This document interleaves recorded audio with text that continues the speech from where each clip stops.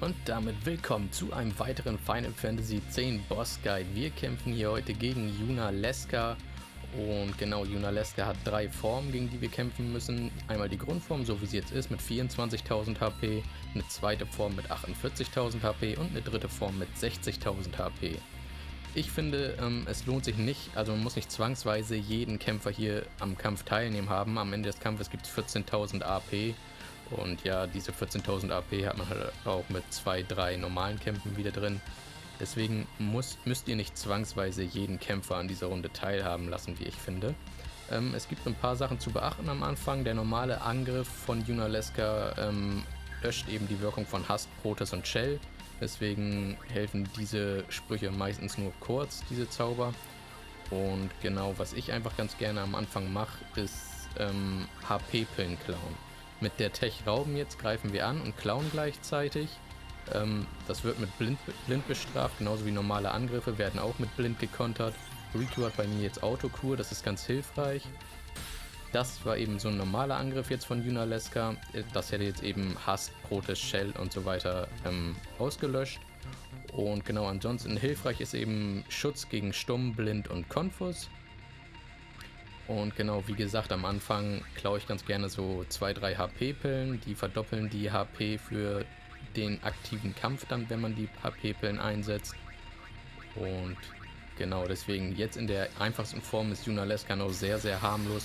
Deswegen kann man eigentlich hier rumtüdeln, wie man möchte. Und das mache ich eben auch mit diesem Klauen bzw. Rauben mit Riku. Wenn ich jetzt mit Zauber angreife, mit Lulu zum Beispiel, das wird dann eben mit Stumm gekontert. Ich habe jetzt ähm, bei Lulu einen Stummschutz drauf. Hilft natürlich manchmal. Manchmal geht der Stummzauber trotzdem durch. Dann muss ich ähm, den Stummzauber natürlich wieder wegmachen. Und genau, bei Riku ist es eben so, wenn man Rauben einsetzt, wird mit Blind gekontert. Wenn man nur Clown einsetzt, dann wird eben mit Schlaf gekontert.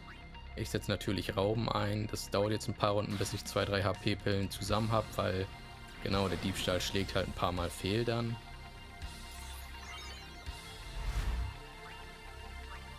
So, und in der Zeit... Ah ne, jetzt war ja gerade nochmal Riku dran. Dann mache ich da nochmal Rauben. Und schauen, ob ich diesmal Glück habe. Das war dann die zweite AP-Pille.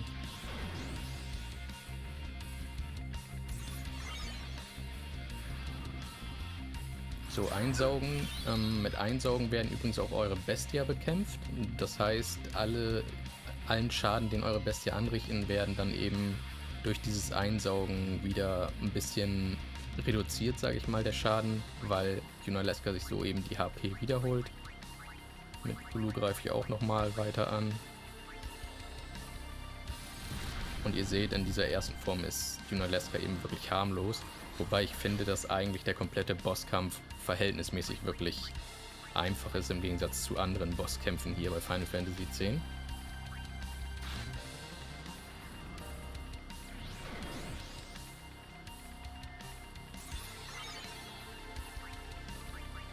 Dann hole ich mal Walker dazu. Der hat bei mir auch Blindschutz, deswegen greife ich mit dem mal normal an. Seht ihr, in dem Fall hat es dann geklappt mit dem Blindzauber, ist aber nicht weiter schlimm.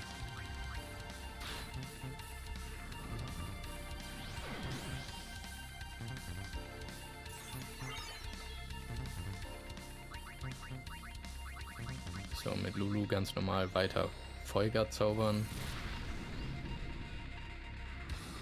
Könnte auch Flair zaubern, aber das verbraucht meines Geschmacks zu viel MP. So, komm, einmal versuchen wir es noch. Gut, wenn es jetzt nicht klappt, dann spiele ich eben mit zwei HP-Pillen, ist nicht weiter schlimm.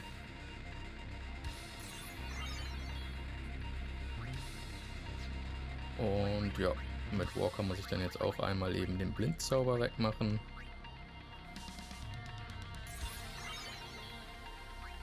So, und jetzt benutzen wir nämlich die HP-Pillen. Eine HP-Pille gebe ich an Walker.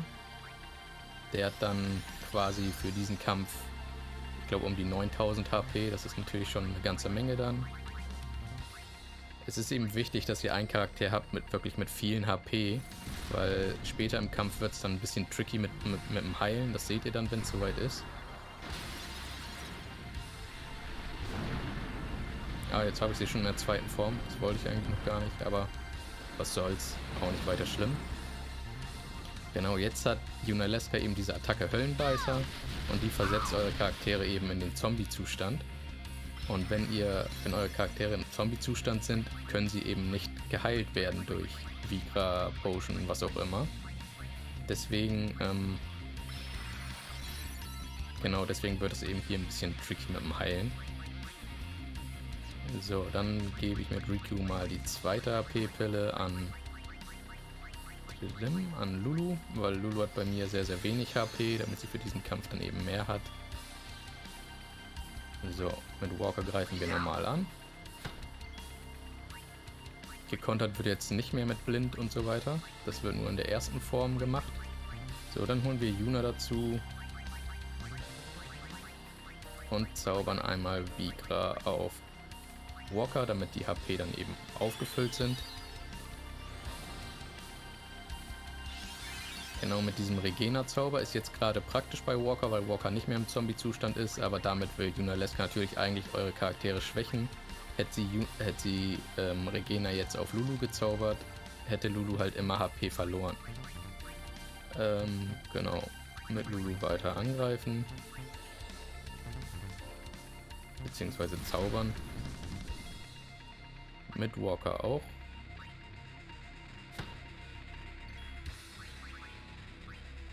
Und mit Yuna holen wir mal eben Lulu aus dem Zombie-Zustand, damit wir auch Lulus HP wieder auffüllen können. Ah, so viel zum Thema, wir holen sie aus dem Zombie-Zustand. Der Zombie-Zustand wird übrigens im späteren Verlauf des Kampfes noch sehr, sehr wichtig. Deswegen solltet ihr keinen Zombie-Schutz anlegen.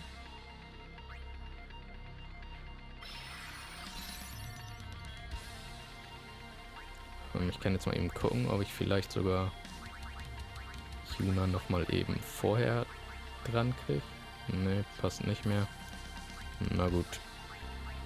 Ach komm, Oren. Ich habe gesagt, eigentlich ist es nicht wichtig, dass jeder am Kampf teilnimmt. Ich versuche jetzt einfach trotzdem mal, weil es sich eben anbietet. Und alles, was ich jetzt eigentlich machen will, ist doch nur Lulus HP einmal auffüllen, damit es hier im Kampf vernünftig weitergehen kann. Dazu darf sie aber nicht im Zombie-Zustand sein. So, jetzt klappt es gleich. 29.000 HP hat die zweite Form noch, das ist gut. Denn wenn Junaleska sich in die dritte Form verwandelt, setzt sie direkt zu Anfang der Runde Vernichten ein. Und das ähm, tötet eben alle Charaktere, die nicht im Zombie-Zustand sind. Deswegen ist es so wichtig, dass ihr ab Ende der zweiten Runde bis zum Ende des Kampfes ähm, mindestens einen Charakter im Zombie-Zustand habt. Und deswegen ist es eben auch nicht ratsam, unbedingt Zombie-Schutz anzulegen. Jo, danke. So, Auron kommt wieder raus gegen Walker.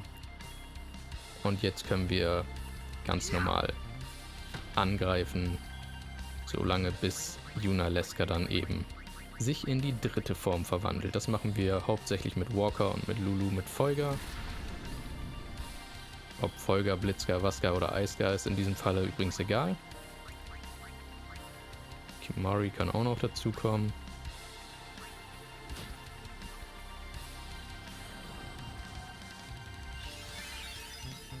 So, Regena. Genau, sollte Regena auf ähm, einen im Zombie-Zustand Charakter bei euch gezaubert werden, könnt ihr den Regena-Zauber mit Anti-Z wieder aufheben, ohne dass sich der, ohne dass der Zombie-Zustand geheilt wird.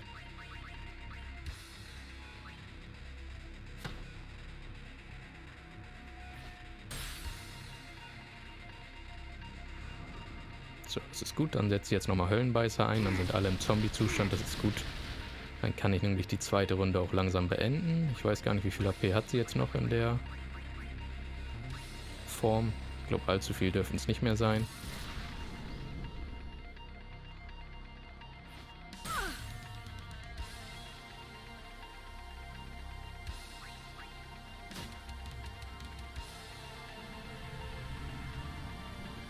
Genau, jetzt verwandelt sie sich in die dritte Form und setzt eben dieses Vernichten ein was alle Charaktere, die nicht im Zombie-Zustand, auslöschen würde.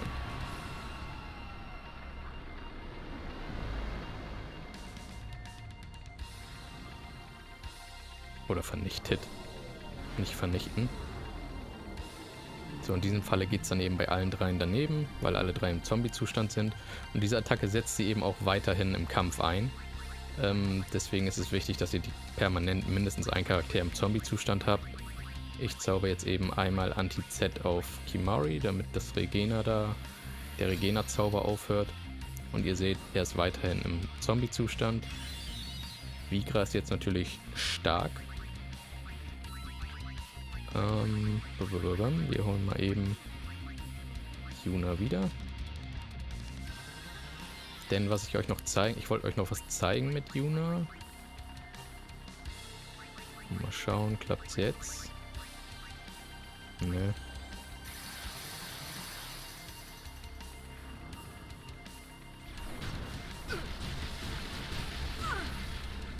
So, wieder alle im Zombie-Zustand. Aber was ich euch mit Juna zeigen wollte, es ist sehr, sehr hilfreich, wenn ihr in diesem Kampf schon den Sanctus-Zauber habt. Das zeige ich euch nämlich einmal. Der ist sehr, sehr stark gegen Juna Leska. 9999 HP. Kostet aber eben auch 85 MP. Ich glaube 85 waren es. Und ähm, genau. So, ich hole mal Riku dazu klappt nicht. Der Diebstahl ist aber nicht weiter schlimm. Dann, ach komm, setzen wir mal ein bisschen die Ekstasen ein. Angriffstee.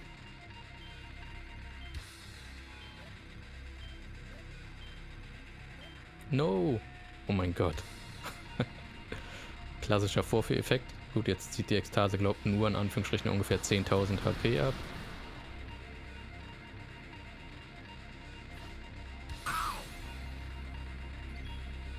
So, auch mit Lulu. Das wird allerdings, das kann ich euch jetzt schon sagen, das wird nicht gut. Da der rechte Analogstick von meinem Controller ein bisschen im Eimer ist. Mal gucken. Ja, nur 4. Damals habe ich 7, 8 oder so hingekriegt. Aber wieder ungefähr 10.000 HP, das passt.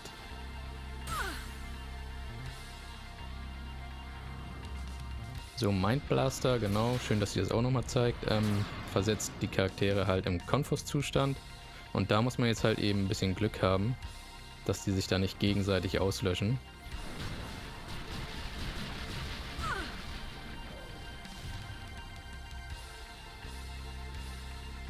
So, Riku genau mit Autokur.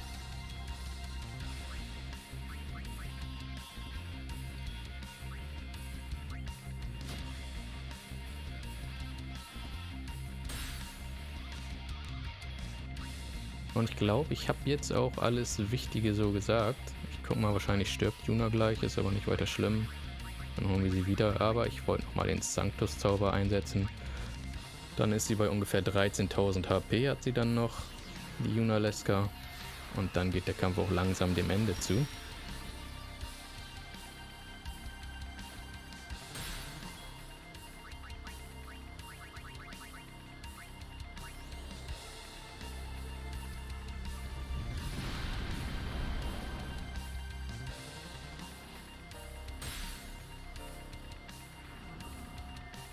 Genau, wieder der vernichtet. Die Vernichtet-Aktion. Wieder alle drei im Zombie-Zustand, das heißt bei allen dreien wieder daneben.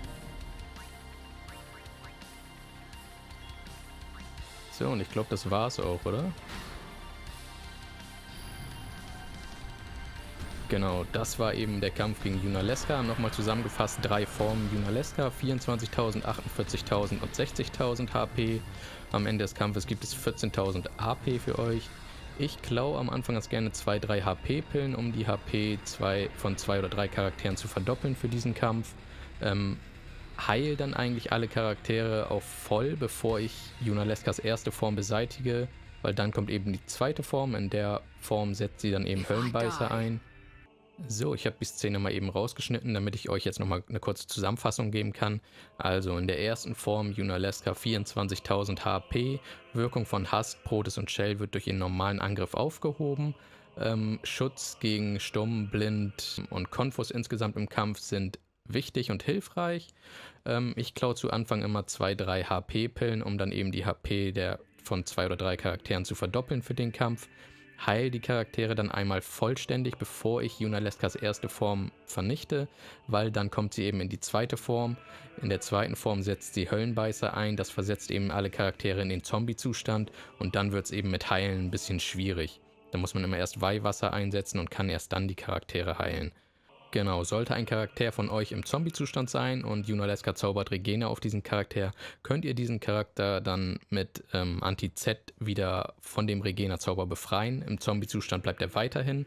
Es ist wichtig, dass ihr in der zweiten Runde mindestens ein Charakter oder ab der zweiten Runde mindestens ein Charakter im Zombie-Zustand belasst besser sind zwei oder drei, denn wenn ihr die zweite Form von Junaleska besiegt und sie sich in die dritte Form verwandelt, wird am Anfang die Aktion vernichtet eingesetzt und das tötet eben alle Charaktere, die nicht im Zombie-Zustand sind. Deswegen, diese Aktion wird auch weiterhin im Kampf eingesetzt. Deswegen auf jeden Fall darauf achten, dass immer mindestens ein Charakter im Zombie-Zustand ist. Und genau hilfreich ist außerdem, auch wenn ihr das schon habt, Junas Sanctus-Zauber ist allerdings auf dem Sphärobrett etwas weiter fortgeschritten. Das heißt, ihr müsst vielleicht noch ein bisschen trainieren vor diesem Kampf, habe ich auch noch gemacht. Genau, und in ihrer dritten Form mit 60.000 HP setzt sie dann eben die Aktion Mindblaster ein, versetzt alle Charaktere in Konfus-Zustand. Deswegen ist es eigentlich hilfreich, wenn ihr auch Konfus-Schutz habt. Ansonsten gilt es halt ein bisschen zu hoffen, dass nicht alle drei Charaktere sich gegenseitig irgendwie auslöschen. Das wäre natürlich blöd dann. Und ansonsten, genau, dritte Form, 60.000 HP, mindestens einen Charakter im Zombie-Zustand lassen. Ihr könnt auch die Bestia zur Hilfe nehmen, die dann eben mit Einsaugen bekämpft werden, wodurch jeder Schaden der Bestia immer ein bisschen reduziert wird, weil Junaleska sich mit Einsaugen ein bisschen heilt. Trotzdem natürlich Ekstasen sind auch hilfreich und ansonsten habt ihr gesehen, verhältnismäßig finde ich den Kampf wirklich leicht. Also da waren die Kämpfe wie gegen den Wächter Heidentum oder der Wächter Heiligtum durchaus schwieriger oder der Efrey-Kampf auf dem Flugschiff damals. So viel meine Tipps zum Kampf gegen Yuna Leska. Ich hoffe, ich konnte euch ein bisschen helfen. Wenn es so ist, gebt mir doch gerne einen Daumen nach oben und lasst ein Abo da. Ich würde mich sehr freuen. Und ich hoffe, ihr seid nächstes Mal auch wieder mit am Start, wenn wir zusammen Final Fantasy X spielen. Bis dahin, euer M-Rex. Ciao.